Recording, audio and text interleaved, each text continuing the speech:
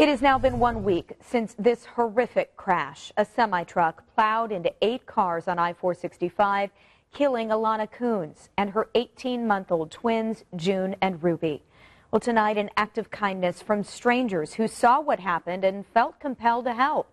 Our Alan Carter is live tonight at Tried and True Ale House on 96th Street, well, where they're raising money for the Koons family. Alan? Well, when this tragedy happened, Jenny, it certainly touched a lot of people and inspired a lot of people to want to do something and to want to help out financially for this family. Already, their GoFundMe page has raised over $65,000, and people are still donating. One way to go ahead and do so, if you would like to help out, is to come out here and have lunch or dinner. The folks here at Tried and True Ale House doing a fundraiser because they said they just wanted to do something. So anyone that comes in here and mentions this fundraiser, 15% of those sales will go directly to the Koons family.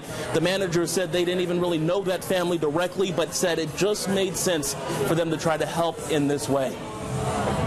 And we actually have um, our office manager here and also one of our servers, um, both are parents of twins. Um, so it kind of just hit home and, and, you know, they were talking to me about it and I was like, you know, it's really bad. And I was like, well, let's, you know, we have an avenue for a way to raise money and help people, you know, it, with the food sales and, and doing some donation stuff. So uh, for us, it was just a no-brainer to help the community and do whatever we could.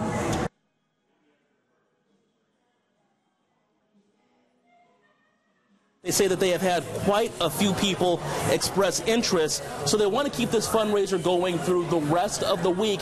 Just make sure if that's something that you're interested in doing, if you want to come out here and help the Koons family, make sure that you mention seeing this fundraiser either on WTHR or on Facebook. Reporting live in Indy's North Side, Alan Carter, Channel 13 Eyewitness News. So heartwarming to see Hoosiers helping out. Alan, thank you for that live report tonight.